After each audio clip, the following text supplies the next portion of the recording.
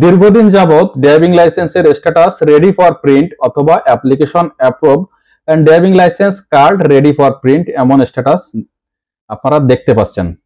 এবং এই স্ট্যাটাসের কোনো ধরনের পরিবর্তন আসছে না।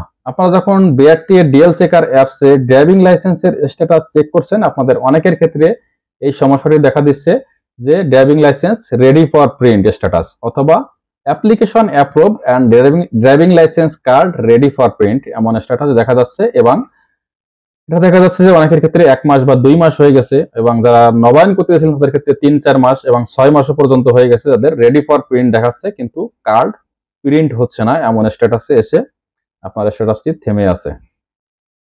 তো এটার কারণ কি? আপনারা অনেকেই জানতে চেয়েছেন যে আসলে আমাদের কার্ডটি কেন প্রিন্ট হচ্ছে না।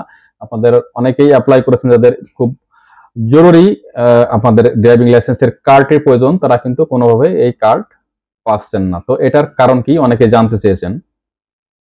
তো আপনারা কিন্তু সবাই জানেন বিআরটিএ যে ড্রাইভিং লাইসেন্স সম্পর্কিত সকল কার্যক্রম কিন্তু অন্য একটি কোম্পানিকে কন্ট্যাক্ট দিয়েছে এই ড্রাইভিং লাইসেন্স সম্পর্কিত সকল ধরনের কার্যক্রম করার জন্য। আর সেই কোম্পানিটি হচ্ছে Madras securities and printers company এটা একটি এটি একটি ইন্ডিয়ান কোম্পানি আপনারা সবাই জানেন। তো এই কোম্পানি কিন্তু ড্রাইভিং লাইসেন্স সম্পর্কিত সকল ধরনের কার্যক্রম সম্পন্ন করছে। ড্রাইভিং লাইসেন্সের কার্ড থেকে শুরু করে প্রিন্ট করা সকল ধরনের কার্যক্রম Madras securities and printers company এগুলো করছে। তাদেরকে কিন্তু বিআরটি আগামী পাঁচ বছরের জন্য তাদেরকে এটা কন্ট্যাক্ট দিয়েছে বা টেন্ডার দিয়েছে। দুই হাজার বাইশ সাল থেকে দুই হাজার সাতাশ সাল পর্যন্ত পাঁচ বছরের জন্য তাদেরকে টেন্ডার দেওয়া হয়েছে। তো এখানে সমস্যা হচ্ছে যে আপনারা হয়তো এর ভিতরে অনেকেই জেনে গেছেন যে আসলে এই সমস্যাটি কেন হয়েছে। আপনারা হয়তো বিভিন্ন পত্রিকা বা নিউজেও জেনে গেছেন যে ড্রাইভিং লাইসেন্সের কার্ড প্রিন্ট না হওয়ার কারণ কি। এটার মূল কারণ হচ্ছে তাদের কাছে যে ড্রাইভিং লাইসেন্সের যে কার্ডটি সেই কার্ডটি সংকট বা এই কার্ডটি তাদের কাছে শেষ হয়ে গেছে। যার জন্য কিন্তু তারা ড্রাইভিং লাইসেন্সের প্রিন্ট করতে পারছে না। এবং এটি বিশ্বস্ত সূত্র মতে জানা গেছে যে তারা ইন্ডিয়া থেকে কিছু কার্ড এলসি করে নিয়ে আসছে এবং কার্ডগুলো অলরেডি চলে আসছে এবং কার্ডগুলো তারা কিন্তু খালাস করতে পারছে না, যার জন্য এই বর্তমানে তারা ড্রাইভিং লাইসেন্স প্রিন্ট করতে পারছে না। এবং এটাও জানা গেছে যে তাদের কাছে কার্ড আসতে হয়তো এক সপ্তাহ মতো সময় লাগতে পারে।